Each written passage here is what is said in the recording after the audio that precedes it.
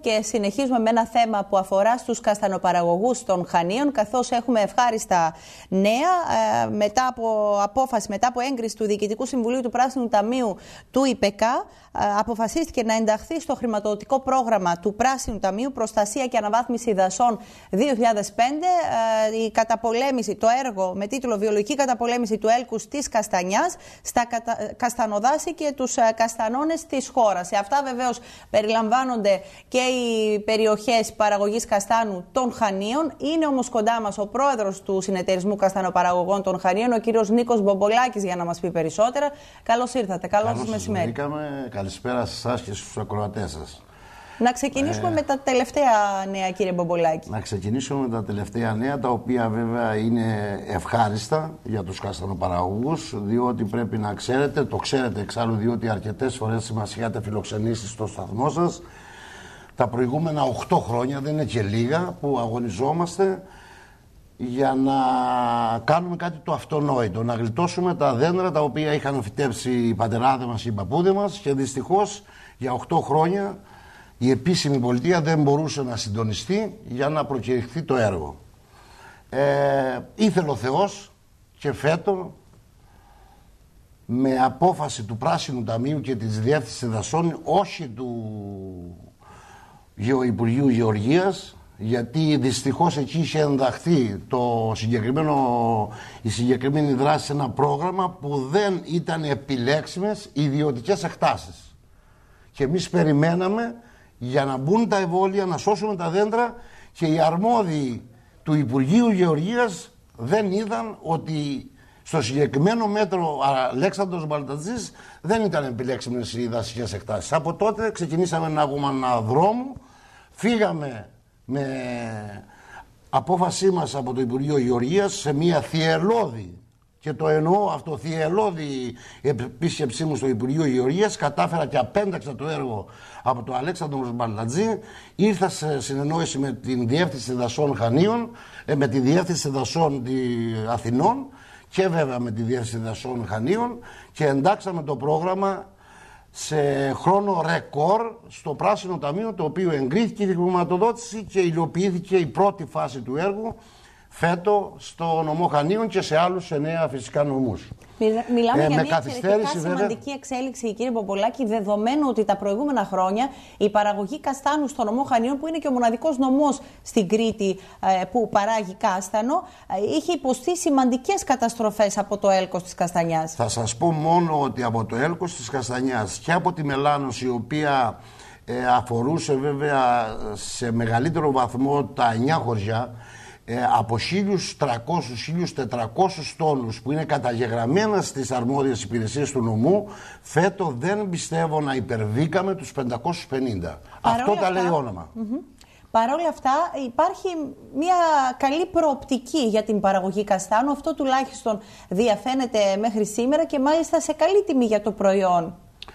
Ε, λόγω του ότι βρισκόμαστε συνέχεια στην επικαιρότητα μαζί με το ΔΣ του συνεταιρισμού ε, μας βρήκε μέσα από τα μέσα μαζικής ενημέρωσης και τα διαδίκτυα που υπάρχουν τώρα κάποιος από τη Λάρισα ο οποίος εμπορεύεται κάστανα μου τηλεφώνησε και πράγματι οι εξελίξεις ήταν πάρα πολύ καλές. Θα σας πω μόνο ότι πέρυσι και φέτο γύρισε το γέλιο στα πρόσωπα των ε, παραγωγών.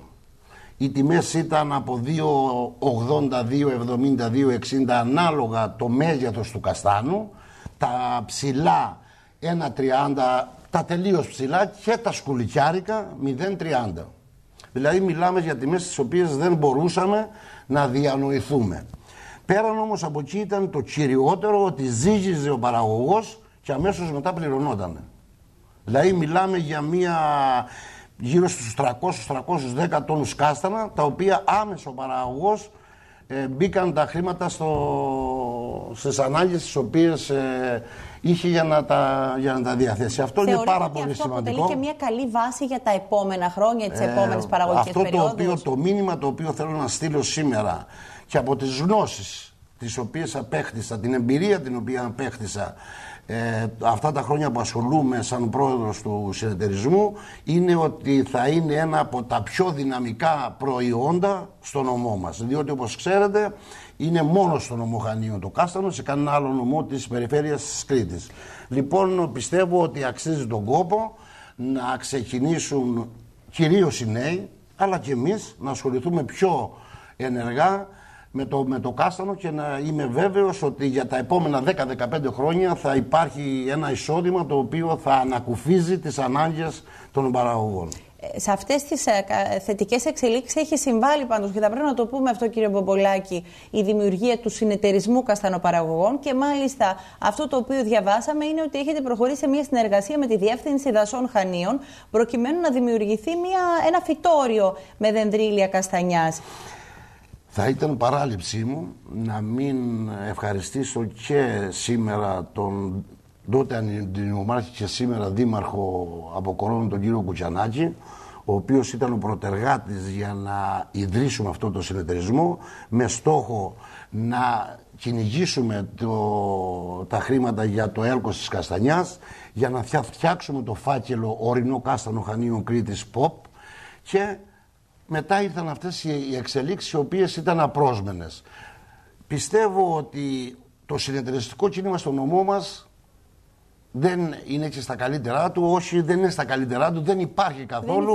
Δεν δημιουργεί και προβλήματα. Δημιουργεί και προβλήματα πιστεύω. Εμείς δεν μπήκαμε στη λογική για να μπούμε στην εμπορία του καστάνου και να αυτό, διότι ξέραμε ότι ο κόσμος είναι πολύ διστακτικός απέναντι στη λέξη συνεταιριστικό κίνημα. Είδα όμως στην πορεία ότι όταν τα πράγματα ε, αντιμετωπίζονται από ένα συνεταιριστικό κίνημα σωστά, με διαφάνεια, με εντιμότητα, ο κόσμος τα αγκαλιάζει. Και πέραν από εκεί είναι προς όφελος του αγροτικού κόσμου. Δεν υπάρχει άλλη διέξοδο. Προσωπικά, η προσωπική μου άποψη είναι ότι δεν μπορώ να στηριχθούμε μόνο στο συνεταιριστικό κίνημα. Χρειάζεται και το ιδιωτικό τομέας. Αλλά μόνο στο ιδιωτικό τομέας. Εκτός συνεταιριστικό κίνημα πιστεύω ότι δεν είναι προς όφελος του πρωτογενή τομέα. Σε ποια φάση βρισκόμαστε σε ό,τι αφορά στην αναγνώριση της προστατευόμενης ονομασίας προέλευσης για το ορεινό κάστανο των Χανίων; Είχαμε ξεκινήσει με τον Δήμο Χανίων με τον αείμνηστο Λευτέρη Αμπαδιωτάκη, ο οποίος είχαμε φτιάξει το φάκελο για το ορεινό κάστανο Κρήτης μαζί με τον κύριο Ρίγλη. Το στείλαμε απάνω, επέστρεψε κάτω με ορισμένες παρατηρήσεις. Εγώ πάντα μου αρέσει κάτι το οποίο είναι σε εξέλιξη και με αφορά, ας πούμε είμαι υπεύθυνος, να το παρακολουθώ από κοντά. Πηγαίνοντας στην Αθήνα πριν 15 μέρες, πέρασα από τους αρμόδιους και είδα ότι πάλι υπάρχουν ορισμένες ελλείψεις ε, για να μπορέσει ο φάκελος αυτός να εγκριθεί από το Υπουργείο Γεωργίας για να φύγει στην Ευρωπαϊκή Ένωση. Ε, οι παρατηρήσεις αυτές ήρθαν μετά που ε, γύρισα από την Αθήνα εγώ μέσα σε 5-6 μέρες. Θα είμαι σε επαφή τώρα με αρμόδιους οι οποίοι θα είναι στη θέση να οριμάσουν αυτές τις παρατηρήσεις οι οποίες ε, μας έχουν βάλει από το, το αρμόδιο τμήμα του Υπουργείου Γεωργίας Έχω έρθει σε προσωπική αυτή με τον κύριο Μετζηδάκη και μου είπε ότι μπορεί να προχωρήσουμε και να διάσουμε τις, ε, τι απαιτήσεις έχει ακόμα ο φάκελος, να τις διορθώσουμε και πιστεύω ότι είμαι σίγουρος μάλλον ότι θα το πετύχουμε και αυτό το, το στόχο. Ο οποίος όπως καταλαβαίνετε στις μέρες μας είναι ε, ό,τι πόπο είναι, είναι ε, το υπαριθμό ένα για τα προϊόντα. Όταν κατα... ουσιαστικά έτσι, και η ποιότητα Είναι πολύ σημαντικό προϊόντα που έχουν ονομασία προέλευσης. Στην τοπική αγορά ποια θέση θα λέγατε ότι κατέχει το ντόπιο κάστανο; Στην τοπική αγορά πιστεύω ότι το προϊόν, το χανιώτικο κάστανο δεν έχει τη θέση την οποία του αξίζει διότι είναι πολλοί οι νομοί οι οποίοι κάνουν κάστανο αλλά το κάστανο, το χανιώτικο είναι, έχει εξαίρεση και δεν το λέω εγώ επειδή είμαι πρόεδρος καστανοπαραγών μου χανίων αλλά το λένε και οι καταναλωτές αλλά κυρίως ε, αυτοί που το εμπορεύονται λόγω της, του λόγου ότι το κάστανο είναι ποικιλίες, είναι 4-5 ποικιλίες οι οποίες κεντρίζονται. Δεν είναι άγριο το κάστανο δηλαδή. Όταν το πάρουμε, το βράσουμε ή το ψήσουμε ή νοπό το φάμε, το κάστανο αυτό ξεφλουδίζει που λέμε εμείς. Είναι γλυκό, ε, έχει πολύ μεγάλη διαφορά από τα άλλα κάστανα το, της υπόλοιπης Ελλάδος. Μάλιστα. Να σας ευχαριστήσω κύριε Παπολάκη για την παρουσία σας. Ε, να είστε καλά, σας ευχαριστώ και εγώ. Στέλνω το μήνυμα στους, όπως είπα, στους καστανοπαραγούς να δούνε το θέμα πιο ζεστά και το δεύτερο είναι ότι ένιωσα πάρα πολύ άσχημα και οφείλω να το πω δεν είναι της, ε, της εκπομπής αλλά με την ε, κάθοδο εδώ του αναπληρωτή υπουργού του κ. Κουκουλόπουλου ο οποίος δυστυχώς και ο Γενικός Γραμματέας, ο αγαπητός μου φίλος ο κύριος Αρναουτάκης ε, ευχαρίστησε τον κύριο Υπουργό ότι όλα πάνε καλά με την καινούρια ΚΑΠ. Δεν είναι έτσι τα πράγματα.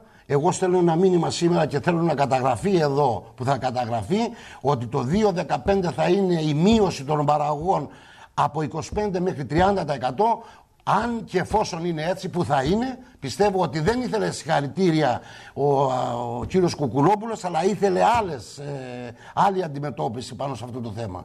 δεν μπορεί. Στη μείωση των επιδοτήσεων βεβαίως, που θα βεβαίως το, το, 15, το 15 είτε στην, ε, στα κτηνοτροφικά είτε στο live θα είναι πάνω από 25 με 30% μείωση. Και δεν μπορεί να λέει ότι χρηματοδοτεί θα χρηματοδοτεί από τα χρήματα των παραγωγών για να γίνουν έργα αναπτυξιακά στον νομό. Παραδείγματος χάρη όπως είναι το φράγμα σε Μπρονιώτη, το οποίο εδώ και 12 χρόνια αγωνίστηκα σαν δήμαρχος να το φέρω στο, στον ΑΔΙΚ και ακόμα το φάκελος ήρθε όπως ήταν από το Υπουργείο Γεωργίας. Αυτά είναι ντροπής για τον νομό Χανίων. Πρέπει να πάψουμε να λέμε ότι δεν έχουμε όριμες μελέτες. Πρέπει να κάτσουμε όλοι μαζί οι αιρετοί οι εκλεγμένοι να προγραμματίσουμε, να βάλουμε προτεραιότητες και να διεκδικήσουμε. Όχι με αυτόν τον τρόπο. Σας ευχαριστώ κύριε Μογολάκη για την παρουσία σας σήμερα εδώ. Καλό σας απόγευμα. Εμείς πάμε σε διαφημίσεις. Σε λίγο θα είμαστε και πάλι μαζί για τις αθλητικές ειδήσεις της ημέρας.